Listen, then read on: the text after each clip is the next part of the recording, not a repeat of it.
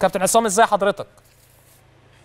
أهلا بك يا كريم وسعيد بالكلام اللي بتقوله الحقيقة لأنك فعلا إعلامي محترم لأن الحقيقة آه لازم كلنا نحيي أبطالنا وأنا بقول فعلا أبطالنا ولازم نستقبلهم كالأبطال.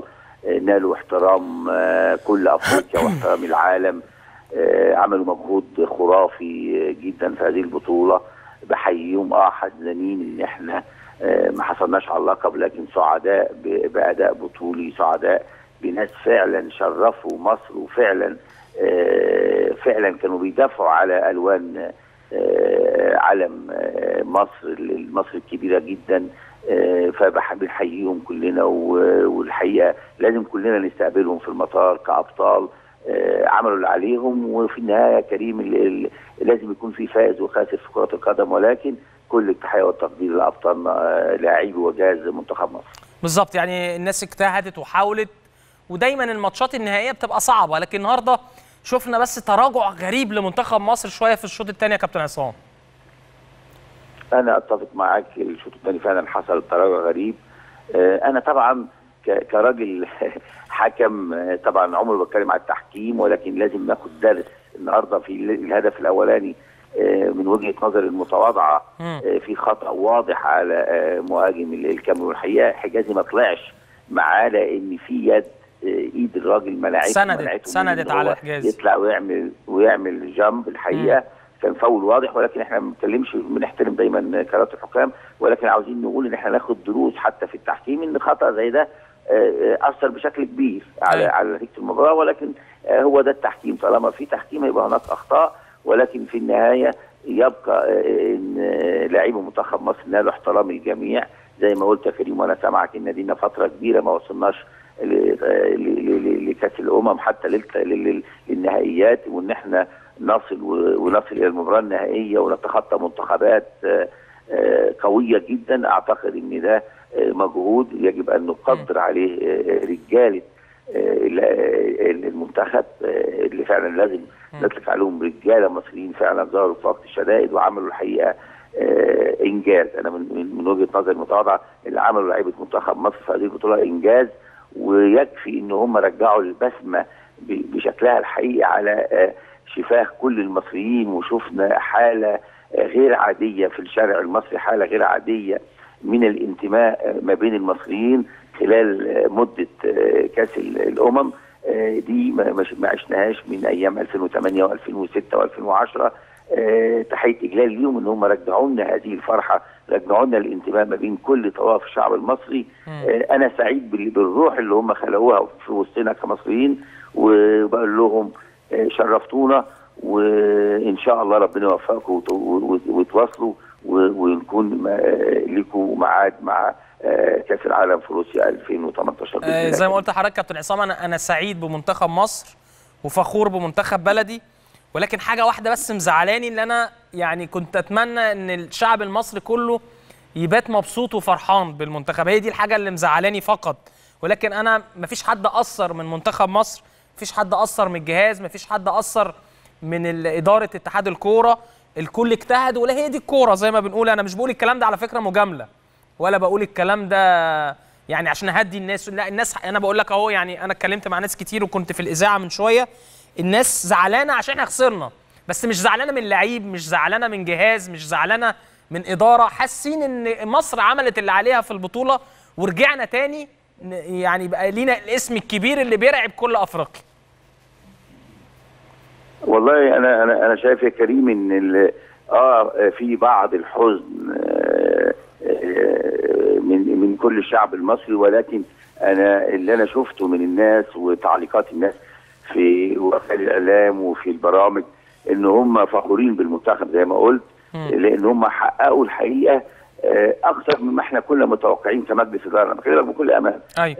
المنتخب يستحق كل التحية والتقدير لأنهم فعلا عملوا اللي عليهم وكانوا قاب قوسين أو أدنى من الفوز بالبطولة ولكن في كرة القدم في خاسر وفي فائز والنهاردة قدر الله ما شاء فعل ولكن تحية تقدير مرة أخرى لمنتخبنا لرجاله المنتخب المصري اللي شرفونا وحتى خلوا العالم كله بيتكلم على المنتخب بشكل يا كريم أدينا فترة ما كانوش بيتكلموا على منتخب مصر بهذا بهذه الصورة. بالظبط. آه، فإن شاء الله القادم يكون أفضل للشعب المصري والمنتخب مصر بإذن الله. الله يخليك يا كابتن عصام آه، مبروك على المنتخب المحترم وإن شاء الله نكمل المسيرة بالنسبة لمنتخب مصر في الفترة القادمة واللي جاي أحسن إن شاء الله بالنسبة الله. لمنتخب مصر. الله. عايز أقول في مكاسب كبيرة لمصر بعد وصول منتخب مصر للمباراة النهائية وحتى حصوله على المركز الثاني.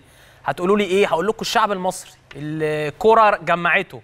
يعني انزلوا الشوارع كده قبل المباراة أو أثناء المباراة أو أثناء أيام البطولة هتلاقوا المصريين كلهم قاعدين جنب بعض. فاكرين قبل كده لما كان بيبقى في مظاهرات وفي مشاكل والأمن ومش عارف إيه؟ لا دلوقتي المصريين كلهم في الشارع. رجعوا تاني.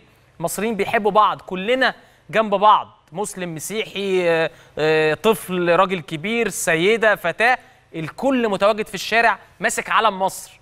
يعني عشان تبقوا عارفين قد إيه المصريين بيحبوا بلدهم. بصوا المنتخب الكاميروني واقف ممر شرفي بي- بيسقف لعيبة منتخب مصر. فبقول لكم في مكاسب كتيرة قوي. يعني أنا كنت متخيل من فترة كده كنت متخيل إن خلاص اللي إحنا كشعب مصري الكورة ما بقتش تفرق معانا. لأ الكورة بتفرق.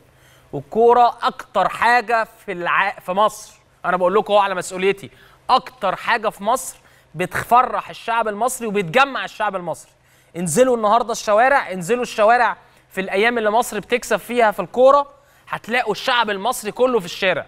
هتلاقي الشعب المصري كله قاعد جنب بعضه وبيشجع. أنا شفت النهارده مناظر وشفت آه، ميادين في المحافظات في اسماعيلية وفي الفيوم وفي الصعيد وفي مطروح. إيه ده؟ إيه ده؟ إيه المصريين اللي النهارده أنا بقول لكم اهو يعني من ساعة الثورة و30 يونيو وأي ثورة كانت موجودة في مصر المصريين ما نزلوش الشارع بال- بالكم ده. أنا أعتقد النهارده لا يقل عن 40 50 مليون مصري في الشوارع في المحافظات في الميادين في مراكز الشباب بيتابعوا منتخب مصر وبيتفرجوا على منتخب مصر. ولا بقى في عربية أمن مركزي تقف عشان تحمي مش عارف إيه. يعني إحنا بنحب بعض. إحنا شعب بنحب مصر وبنحب الكورة وبنحب المنتخب. فالحاجات دي كلها تبين لكم قد إيه الكورة بتفرق مع منتخب مصر وقد إيه المصريين عندهم انتماء لمنتخبهم وبلدهم وقد إيه بيحبوا يتابعوا المنتخب وبيفرحوا وبيتبسطوا وبيزعلوا. دي هي دي الطبيعة. في الكورة تكسب بتفرح بتخسر بتزعل. مفيش مشكلة. لكن إحنا كلنا وأنا بقول لكم هو الكلام ده وعلى مسؤوليتي ومش مجاملة على فكرة. لو في حاجة هنتكلم فيها وأقول لكم ده أثر في أخطاء فنية بتحصل في حاجات غلط حصلت عادي. بتحصل ما ما فيش حد بيبقى يعني كامل أو الكمال لله وحده. ولكن النهارده مش وقت كلام في انتقادات أو كلام في اخطاء. إحنا اجتهدنا وعملنا أكتر حاجة نقدر نعملها كان في اصابات في حالة اجهاد غير طبيعية. إن اللعيبة دي كلها بقول لكم أول مرة تلعب بطولة أمم أفريقيا. إحنا ما عندناش غير أربعة بس لعبوا قبل كده بطولات أمم أفريقيا. عصام الحضري والمحمدي وأحمد فتحي ومحمد عبد الشافي. 19 لعيب الباقيين أول مرة يلعبوا في أفريقيا. ماتشات قريبة جدا. اجتهدنا وكسبنا ماتشات صعبة جدا. كسبنا أوغندا وكسبنا غانا وتعادلنا مع مالي المنتخب القوي جدا. وخرجنا المغرب وخرجنا بوركينا فاسو. اللي أنا بقول أقوى منتخب ظهر في البطولة الحالية هو منتخب بوركينا. أنا مش عارف إحنا كسبناهم إزاي بضربات الترجيح. فلا اجتهدنا وموتنا نفسنا واللعيبة رجالة ومحترمين. واللي جاي أفضل إن شاء الله بالنسبة لمنتخب مصر. هنطلع فاصل سريع وبعدين نكمل تاني حلقتنا النهارده في كورة كل يوم. كنا نتمنى إن هي تكون حلقة احتفالية. ولكن مفيش مشكلة اللي جاي أحسن بالنسبة لمنتخب مصر بإذن الله.